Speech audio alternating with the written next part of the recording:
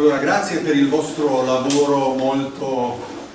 eh, appassionato e molto eh, consistente durante la giornata. Adesso siamo arrivati alla conclusione dove appunto esponiamo quello che abbiamo eh, imparato, quello che abbiamo concluso e, e lo facciamo in una registrazione che poi sarà messa online sul canale eh, di Singularity U Milan. E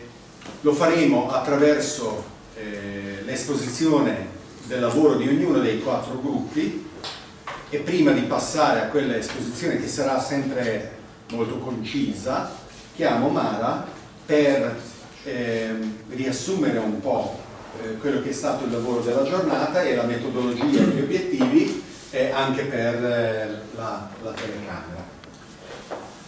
Salve di nuovo, eh, di nuovo grazie per essere stati qui con noi la giornata perché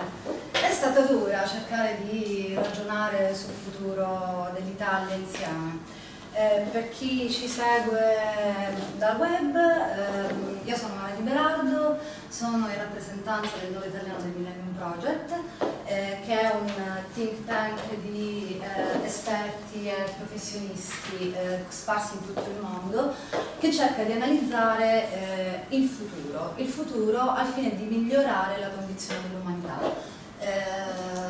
L'idea è, è, stata quella di, dalla fine degli anni 90, di creare questo network di esperti che provengono da diversi campi eh, per cercare di mettere a sistema un collettivo di persone che ragionasse sul futuro, di modo che, dato che il futuro è adesso, si potessero prendere, analizzando ciò che verrà, decisioni migliori oggi. Gli output ehm, soliti del Millennium Project, o comunque quelli a cui siamo arrivati eh, adesso, sono un Global Future Intelligence System, che è una piattaforma online che mette a sistema letteratura, metodologie, persone, dati per lo studio del futuro. Eh, poi abbiamo lo State of the Future che viene aggiornato di volta in volta ehm, a stampa anno per anno comunque sul sistema continuamente eh, in cui si fa un report sullo stato globale del pianeta secondo diversi punti di vista eh, Future Research Methodology 3.0 che è un compendio delle principali,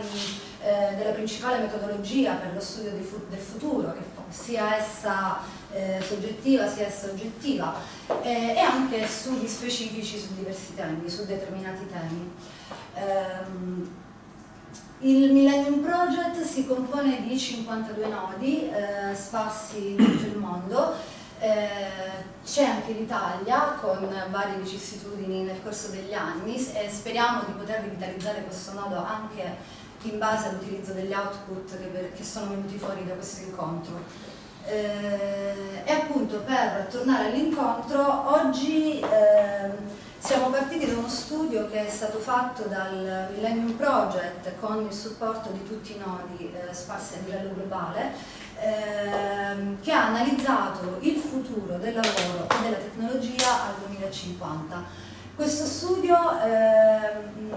tenta di eh, definire delle direzioni che sta prendendo il nostro pianeta appunto al 2050 eh, ed è derivato dalla consultazione di oltre 450 esperti, eh, futuristi, esperti del lavoro, esperti della tecnologia che nel corso di, un, di un'applicazione Real Time Delphi eh, hanno messo insieme il loro punto di vista eh, dopo aver effettuato un'analisi della letteratura e degli scenari esistenti rispetto all'argomento eh, per definire ciò a cui sta andando incontro l'umanità. Eh, è uno studio che ehm, ha fornito tre scenari globali alternativi, ovvero se capita uno scenario non succede l'altro e così via, eh, ed è diverso dal solito perché cerca di dare risposte a quesiti che nella letteratura non hanno ancora trovato una risposta. Anzitutto è internazionale, quindi mette insieme pareri eh, da, come abbiamo detto, 450 futuristi. Eh, e poi eh, considera non un tema o due temi relativi al lavoro e alla tecnologia, ma una serie di eh, innovazioni tecnologiche che verranno o che sono già in corso, in fase di definizione. E, e il fatto che questi scenari siano ehm, eh, organizzati al 2050 permette anche di capire le conseguenze, quali possono essere le conseguenze primarie ma anche secondarie e terziarie eh, rispetto a determinate decisioni che vanno prese oggi. Eh, lo scenario 1 ehm, è una via di mezzo tra gli altri due, eh, si compone di una capacità decisionale a tratti intelligente, a tratti non intelligente, eh, analizza mh, mm, relativamente l'impatto che alcune tecnologie eh, possono avere rispetto, rispetto all'andamento dell'umanità e, e vede quindi una, una, risposta del potere decisionale eh, non totalmente adeguata a ciò che poi in realtà succede eh, nel corso dell'evoluzione umana. Quindi mh, questo, questo scenario visualizza l'umanità come un insieme di mega corporazioni e governi che eh, si trovano immersi in una realtà multipolare e virtuale. Il secondo scenario è più negativo e prevede la possibilità che eh, avvenga una desolazione umana, ovvero eh, i governi in questo scenario non sono stati capaci eh, di anticipare e prevenire ciò che sarebbe successo nell'umanità eh, e quindi ci si ritrova in un forte disordine, disordine politico ed in, una, in un isolamento dei, varie, eh, dei vari stati-nazione eh, gli uni nei confronti degli altri. Eh, quindi appunto non c'è stata una capacità strategica in questo scenario di anticipare ciò che stava per succedere eh, e il disordine politico e, e sociale che ne deriva è molto forte e getta la popolazione nella disperazione. L'ultimo scenario più positivo, eh, prevede la possibilità che eh, si verifichi ciò che viene definito nella, nella, nello scenario self-actualization, ovvero autorealizzazione del soggetto rispetto alle proprie inclinazioni e rispetto al miglioramento delle proprie skill. Quindi in questo scenario ehm, si ipotizza che i governi eh, attuino una, una, capacità decisionale e strategica, che quindi prevedano gli impatti di determinate nuove tecnologie rispetto al tema del lavoro eh, che stiamo analizzando eh, e riescano anche a, a, ad inserire dei sistemi di eh, redditi di base per supportare eh, le persone, supportare la disoccupazione e l'inoccupazione dilaganti nella, eh, nella società, di modo che l'individuo, avendo questi sistemi di protezione, possa realizzare se stesso. Detto in breve, gli scenari poi saranno disponibili in rete nel, nel, nei prossimi mesi. Eh, diciamo che sono, questi scenari sono mh, mm, mm, possibili, sono possibili e, e, proprio il fatto che ci mettano di fronte a ciò che potrebbe essere rispetto alla capacità di anticipare impatti e prendere decisioni oggi eh, ci ha portato a ragionare sul futuro dell'Italia eh, con questo punto di riferimento globale. Quindi oggi ci siamo ritrovati qui eh, esperti di tecnologia, esperti di lavoro, esperti mh, mm, di futuro o anche solo semplici appassionati, ci siamo ritrovati a ragionare per temi eh, che influenzano eh, il tema globale eh, World Technology. Eh, tanto per capire dove sta andando l'Italia e dove dovrebbe andare, quali strategie dovrebbe applicare per arrivare verso un futuro desiderato. Eh, l'obiettivo alla fine dei, del lavoro è, sicur è, stato sicuramente è stato raggiunto, è stato quello di sviluppare discussione, cominciare a parlare di futuro, cominciare a parlare di eh, pianificazione strategica, anticipazione sia degli impatti, eh, eh dei problemi e prendere decisioni proprio in base a ciò che potrebbe essere. Eh, il gruppo di lavoro formato da Millennium Project e Singularity ha cercato di mh, mm, definire dei sottotemi traccia di interesse rispetto a Work Technology ehm, e quindi si è diviso, secondo una metodologia definita Charrette, in quattro sottogruppi che hanno analizzato eh, puntualmente educazione, apprendimento e cultura per capire quali strategie si dovrebbero attuare in Italia per eh, auspicare un determinato tipo di cambiamento, poi lo vedremo meglio con i relatori di, di ogni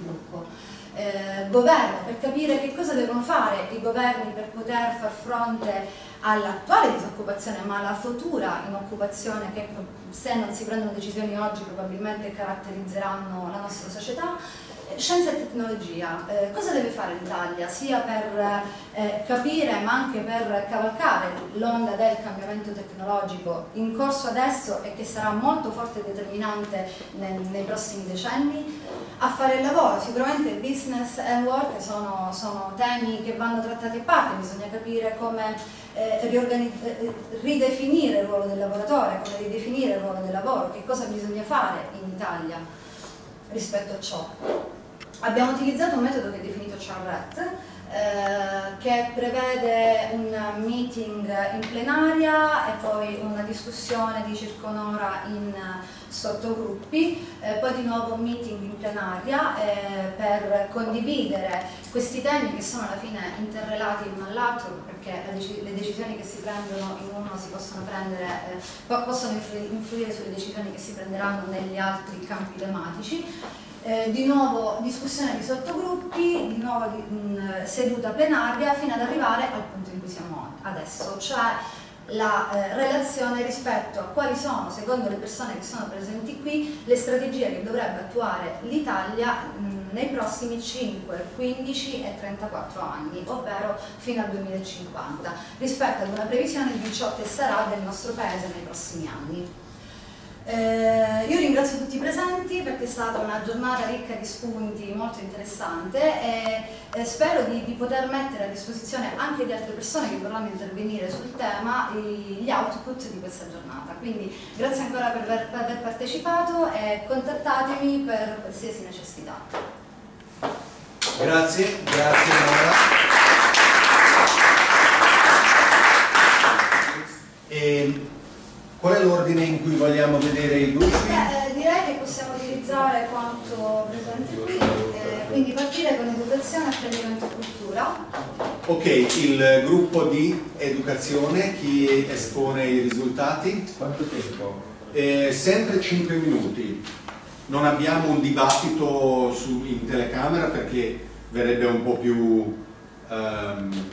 difficoltoso e quindi esponete per 5 minuti darò io il, il, il time out. Ok, intanto grazie a Mara, Millennium Project Singulati, grazie a tutti quelli che erano nel nostro gruppetto di lavoro, è stato veramente interessantissimo e qua non, non diremo tutto quello che ci siamo detti ma alcuni highlights.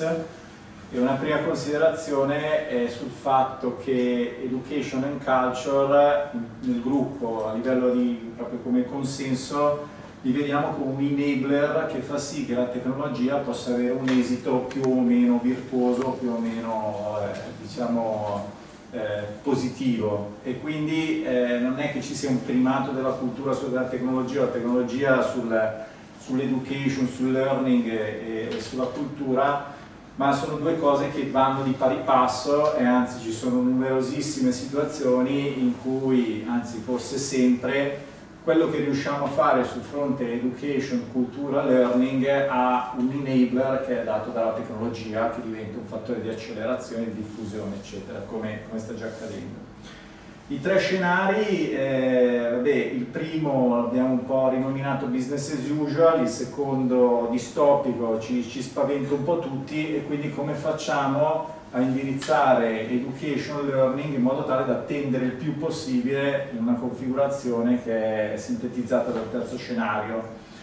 e abbiamo adottato un approccio di backcasting che è molto utile in una situazione complessa. Abbiamo immaginato di essere già nel 2050 che si fosse, che si sia realizzato completamente il terzo scenario o qualcosa di molto simile a quello, quindi dove abbiamo risolto problemi, grandi sfide, eccetera, e abbiamo ripensato, guardando indietro, a cosa avrebbe dovuto fare l'Italia, cosa avrebbe potuto accadere, a cosa possiamo fare per progredire in questa direzione.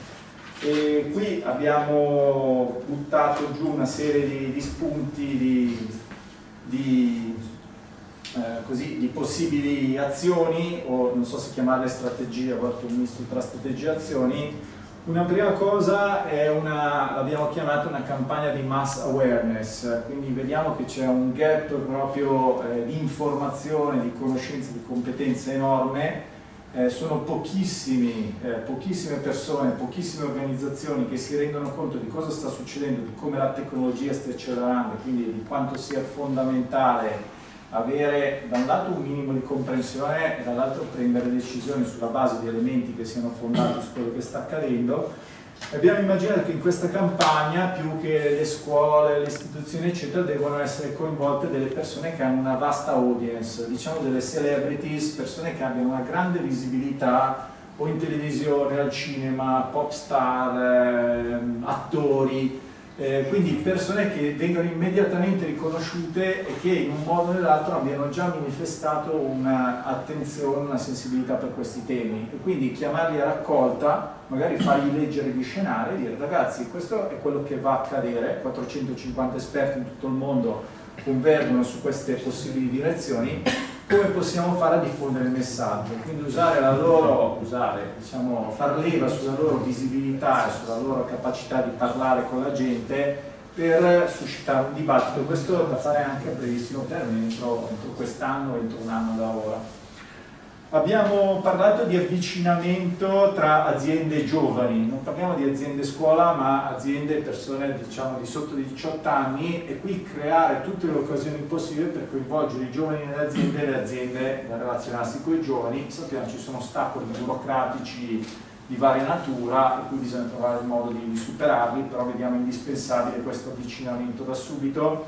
e quindi anche promuovere l'imprenditorialità in tutte le sue forme, dove per imprenditorialità si pensa di default a una, a una, connotazione di team, quindi un lavoro di squadra, nessuno può essere imprenditore da solo, o è difficilissimo farlo. E quindi questo può essere fatto vabbè, con organizzazioni esistenti, con l'università, con le aziende e con tantissime iniziative, non so, incubatori eccetera, che già si stanno muovendo in questa direzione. Abbiamo pensato anche dei pilot, eh, vediamo molto difficile incidere a breve termine sul sistema educativo esistente, però dei pilot che coinvolgano, eh, che attivino dei modelli di scuola alternativi, sul modello di Alt School ad esempio in California, e abbiamo anche parlato di sperimentare nel concreto dei pilot sul reddito di cittadinanza, magari andando a toccare quelle municipalità, quei comuni che nei programmi diciamo, elettorali hanno già spinto in questa direzione e quindi adesso andare a dire facciamolo davvero. Andando più avanti nel tempo abbiamo pensato ad attivare dei sistemi di mutual coaching tra senior, anziani, pensionati e giovani, quindi incentivare il più possibile questo tipo di scambio un minuto, ok? E abbiamo parlato poi di ridefinire proprio gli orari scolastici pensando di comprimere il numero di ore di scuola per dare l'opportunità a chi è nelle scuole di sperimentare tutta una serie di altre possibilità e quindi questo può avere innumerevoli ricadute e abbiamo pensato, vabbè, abbiamo considerato come default il fatto che ci sia un'educazione che vada nella direzione di, di un senso civico, di, di, sharing, di community, di responsabilità condivisa, quindi valori che devono essere permeanti in una cultura, in una società del futuro. Poi immaginiamo, andando sempre più avanti, che non esisterà più un divide tra education e vita normale, sarà un continuum praticamente senza interruzione, abbiamo anche immaginato che tra pubblico e privato ci sarà una forte espansione di una configurazione di benefit corporation come le Alt School o o Singularity University che si avvicineranno sempre di più a quelle che sono le funzioni del pubblico mentre il pubblico andrà contaminandosi sempre di più con gli aspetti virtuosi di un privato e quindi ci sarà una crescita di entrambe queste diciamo macro categorie. Quindi questa in estrema sintesi alcuni spunti di direzioni strategiche per cultura, educazione e apprendimento. Grazie. Anche visualizzare. Sì, trovate uno schemino riassuntivo. Sviluppo governo.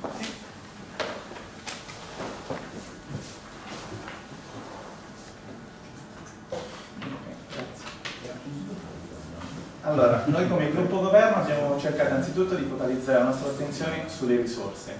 Abbiamo anzitutto cercato di capire appunto come, dove reperirle, la prima idea è stata quella della demonetizzazione completa, per cui abbiamo cercato, abbiamo capito che una strada era quella di eliminare il contante e di permettere l'immersione della cosiddetta economia sommersa. Il secondo punto invece è quello di stipulare degli accordi internazionali che permettono anche qui il recupero dell'imponibile derivante dall'economia sommersa. Queste risorse l'idea è quella di investirle in infrastrutture che permettano quanto più possibile un accesso più eh, ampio alla tecnologia. Questo ovviamente viene fatto tramite investimenti che sono sia pubblici sia privati, l'idea è quella di eh, attrarli cercando di dare degli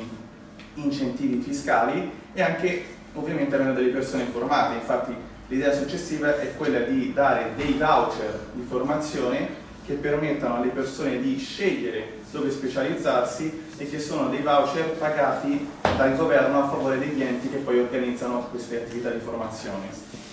L'idea poi è anche quella che nel lungo periodo, nell'arco di ad esempio 15 anni, ci sia anche la possibilità di ridurre i costi dello Stato e quindi di permettere che, ad esempio, a fronte di avere dei costi minori sullo Stato si possa continuare a investire nell'innovazione. Infine, che poi è anche il problema maggiore, la minimizzazione dell'impatto sociale dovuto alla disoccupazione. In questo caso noi, il gruppo, ha eh, pensato che nei primi 15 anni ci sia una rete sociale che è quella della famiglia che permette un po' di assorbire tutta quella che è diciamo, la crisi sociale grazie anche al patrimonio significativo di cui dispongono ad oggi le famiglie italiane. E l'idea però è che poi dal quindicesimo anno si riesca grazie alle risorse derivanti appunto dal recupero dell'imponibile derivante dall'evasione fiscale e anche dalla riduzione dei costi che la tecnologia permette, di consentire un reddito globale che permetta eh, appunto da un lato alle persone di poter gestire la propria vita, di scegliere dove vogliono inserirsi, in quale settore vogliono specializzarsi e anche permetta l'eliminazione della pensione dato che le persone saranno produttive diciamo fino alla fine. Perfetto, grazie.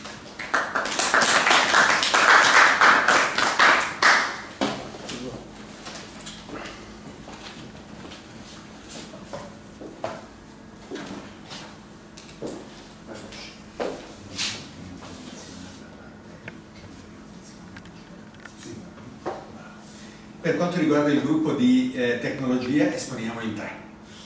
Sempre 5 minuti. Sono il protagonista. Ok, come gruppo eh, tecnologia abbiamo individuato tre macro temi eh, di particolare interesse per eh, lo sviluppo diciamo, della tecnologia e delle tecnologie esponenziali in Italia eh, all'interno di un quadro dire, un po' più ampio di eh, tecnologie abilitanti a questo eh, all'interno ancora di eh, dire, un framework eh, mentale e eh, logico che vi proporremo. Le tre te tecnologie a cui abbiamo pensato sono attinenti a mobilità, biotech e food e alle energie rinnovabili. Eh, sono tre temi per certi versi anche molto italiani. Eh, la mobilità eh, attiene molto alla geografia dell'Italia che è un paese piccolo ma eh, molto particolare nella conformazione e eh, ci si propone quindi di eh, rendere la mobilità come un vero e proprio eh, strumento attraverso dei vettori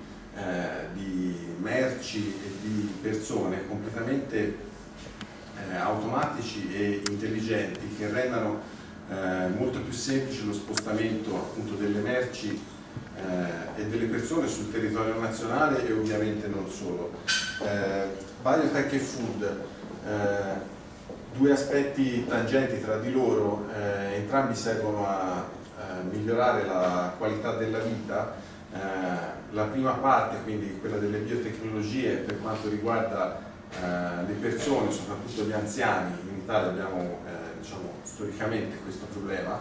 eh, la parte del food potrebbe essere, eh, le tecnologie eh, applicate a questo, eh, il fattore abilitante per, nostra, eh, per, il nostro settore agroalimentare. Eh, e infine la parte delle energie rinnovabili, eh, dove eh, il consumo e l'utilizzo dell'energia pro capite eh, diventa eh, veramente fattore abilitante di ognuno e soprattutto decentralizza eh, la, la, la, gestione di ognuno di noi. allora, Simone ci ha spiegato quelle che sono le tecnologie che possono maggiormente impattare positivamente lo sviluppo dell'Italia come economia e come, come, società. Diciamo che rispetto a questi tre filoni tecnologici che ha indicato, ci sono poi delle tecnologie trasversali abilitanti, che sono in particolar modo l'intelligenza artificiale e la robotica, cioè sia nel campo dell'autonomous driving, sia nel campo uh, del biotech, eh, sia nel campo delle rinnovabili, eh, l'intelligenza artificiale e la robotica avranno un ruolo importante per accelerare la diffusione e l'adozione di queste, eh, di queste eh, tecnologie. Immaginiamo ovviamente, è molto, molto chiaro l'esempio dell'intelligenza artificiale applicata sulle vetture autonome, eh, ma immaginiamo anche i robot che sono già fortemente presenti nelle fabbriche italiane, ma che saranno probabilmente sempre più presenti nelle case degli italiani, quindi ad uso domestico, ad uso privato, per esempio per l'assistenza agli anziani o negli ospedali o in tanti altri tipi di eh, applicazioni non solo industriali ma anche appunto eh, um, per i privati e questo sempre più importante in un paese che ovviamente ha un'età eh, media avanzata e dove uno degli obiettivi è quello di aumentare la longevità delle persone. Chiaramente queste tecnologie, eh, l'intelligenza artificiale e la robotica, già oggi cominciano a sollevare un dibattito delle questioni che hanno alla base una questione morale sulla quale David ci racconterà meglio. Nello scenario del 2050 è facile immaginare come praticamente tutti gli oggetti del nostro mondo tecnologico abbiano un contenuto di intelligenza perché il costo incrementale di includere questo sarà estremamente ridotto rispetto al vantaggio che comporta di eh, dotarli di tale intelligenza. Se non che oggi manchiamo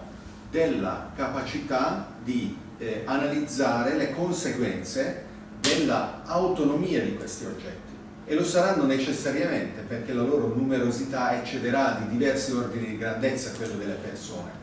Non è che non le controlleremo, ma delegheremo loro decisioni importanti sulla nostra vita. Come queste decisioni avverranno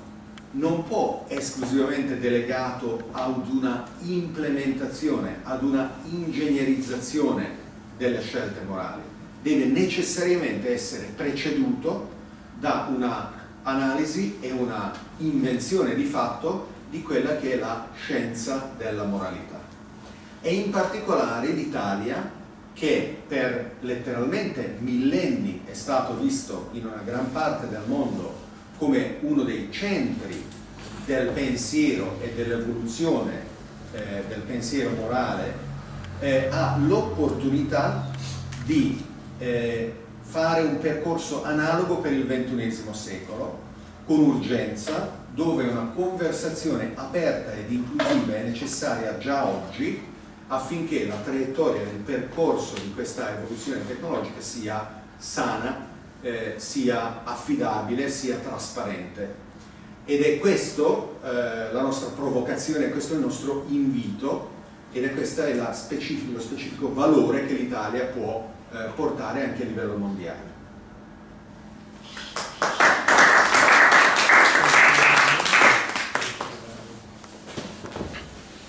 A fare lavoro.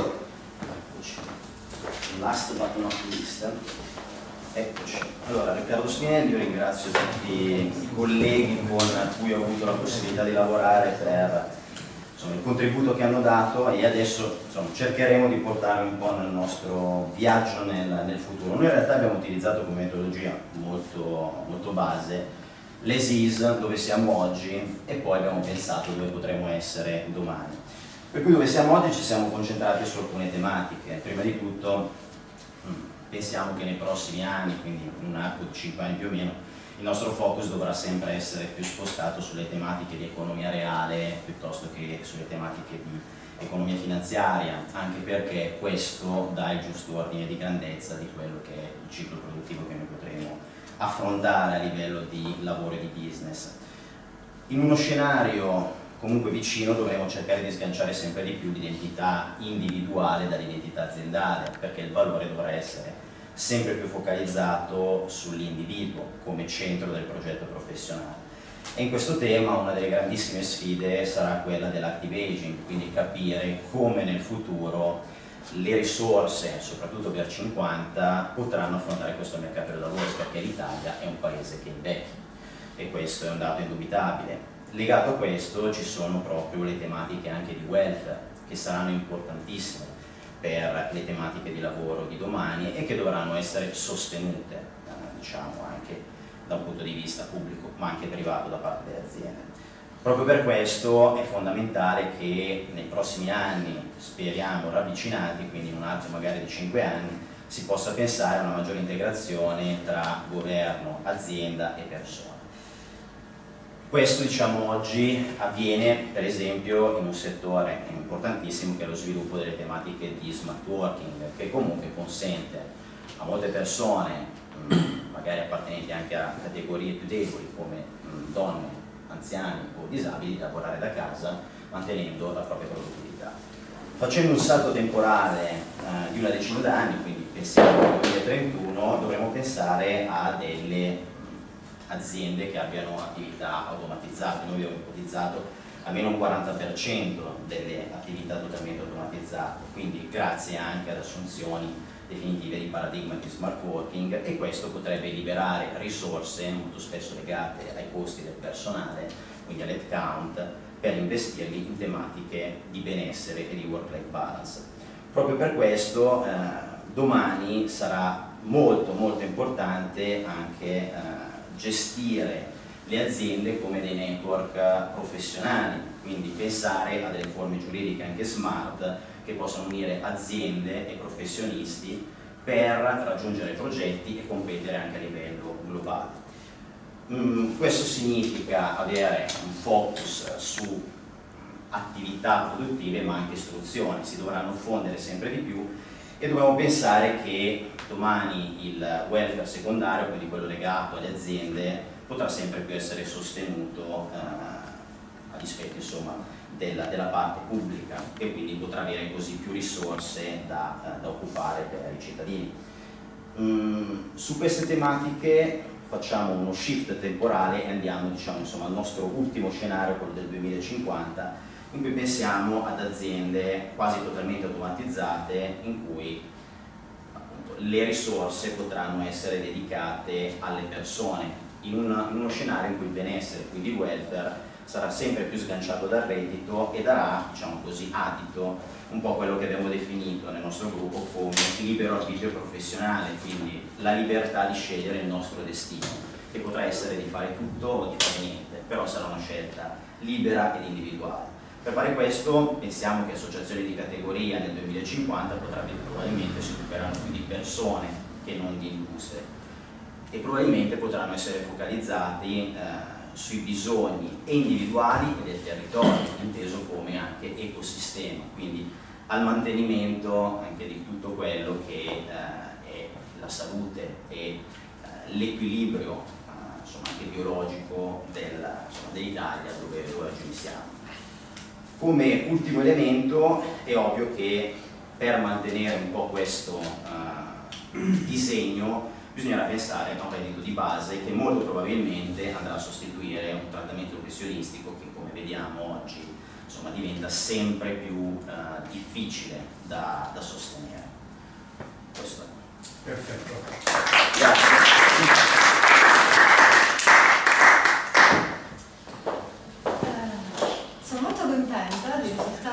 giornata perché poi alla fine mettere insieme persone, idee, ambienti diversi è sempre un po' una scommessa.